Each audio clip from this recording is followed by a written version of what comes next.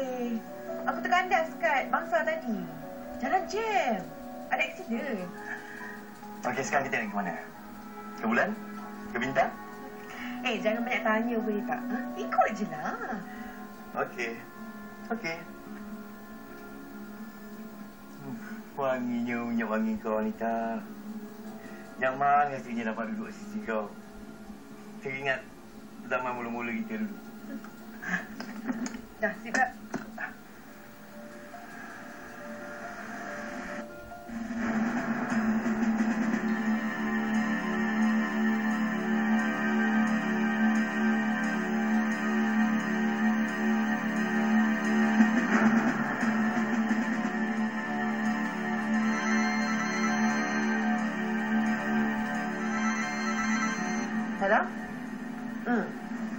Telefon saya balik, telefon balik. Okey. Siapa yang telefon? Ada lah. Sibuk je nak tahu.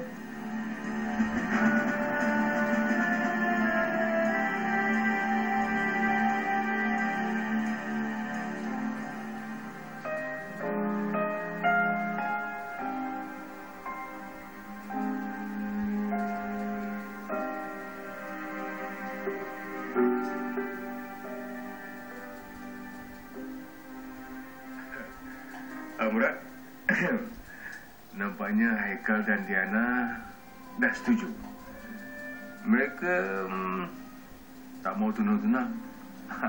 Lepas nikah, terus saja bersanding. Uish, cepatnya ya. Eh, betul ke ni Haikal? Haikal serius ke? Ya, Pak Cik. Um, Diana pun nak macam tu. Dia kalau boleh nak majlis ni sederhana saja kat sini. Hmm, jadi dah bersefakat lah ni. Hmm, Baguslah Haikal. Ah, bagus. Ha, nak muda zaman sekarang ya. Awal-awal lagi dah sepakat. Ah, Murad. Hmm, macam mana? Kau setuju ke dia orang nak buat kat sini? Eh, saya setuju lah ya. Lagi cepat lagi baik untuk saya. Lapang sikit ada saya ya. Alhamdulillah. Kita orang tahulah. Lepas tu kau pula nak nikah dengan Syar. Hish, Ma, ni janganlah cakap kuat-kuat, Ma. Diana tu tengah malu nanti. Alah, Pak. Mau pun nak malu-malu. Dia dah dengar dah pun. Kau orang perempuan telinga tajam.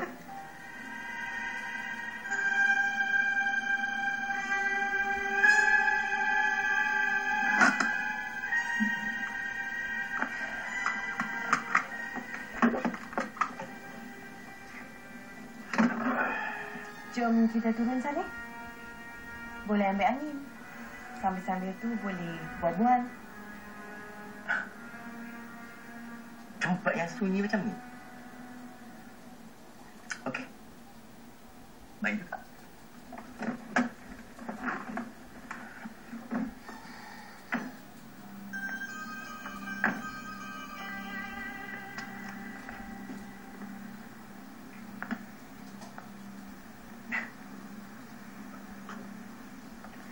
Romantik juga tempat ni kan? Sesuai untuk pasangan yang macam kita. Saleh, aku nak tanya kau sikit. Apa agenda kau, ah? Lepas aku dah dapat harta daripada Murad yang melibatkan nama aku tu nanti? Yang pertamanya dah tentulah aku nakkan bagian aku. Yang mana yang kita dah janjikan dulu. Kau jangan nak buat lupa pula, Anita. Eh, tak.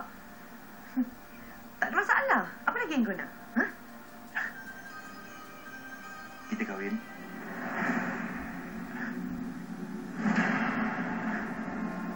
Aku dah besar, Anita. Lama sangat hidup bujang. Lagipun takkan sampai bila-bila kita nak macam ni. Sekurang-kurangnya kalau kita kahwin, dapat juga menutup malu kita kes haluan kita tempoh hari. Bukan begitu? Saleh, Saleh. Hayalan kau ni terlampau jauh. Aku belum lagi dapat apa-apa. Engkau dah berangan sampai ke situ. Hayalan apanya pula? Bukankah benda yang akan jadi realiti? Murad dah setuju nak bagikan harta pada kau. Setahu aku, harta bagian kau je dekat 10 juta, kau tahu tak?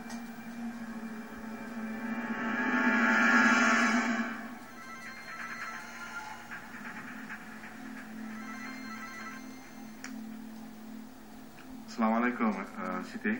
Ya. Cik Murad. Wanita dah berhentikan saya kerja di banglo itu, Cik Murad.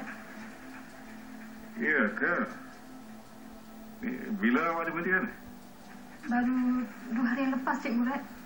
Di, kenapa awak tak beritahu saya awal-awal? Ha? Ni, tak apa, tak apa, tak apa. Ni awak rehat dulu. Gaji awak tetap saya bayar. Ya? Eh, Apa, Murad? Saya saya tak kisah sebenarnya. Ni kan saya dah janji. Kalau jadi apa-apa pada awak, saya bertanggungjawab. Awak faham tak? Tak apa, awak jangan risau. Apa dia? Oh, ni saya tengah berbincang soal perkahwinan uh, Haikal dengan si Diana ni, anak saya. Hmm. Dia, Siti. Diana dengan Haikal akan disatukan tak lagi. Hmm. Ni, awak kalau ada apa-apa, awak telefon saya nanti ya. Ha? Kita bincang lagi lebih lanjut. Ha? Jaga diri itu, bye-bye. Assalamualaikum.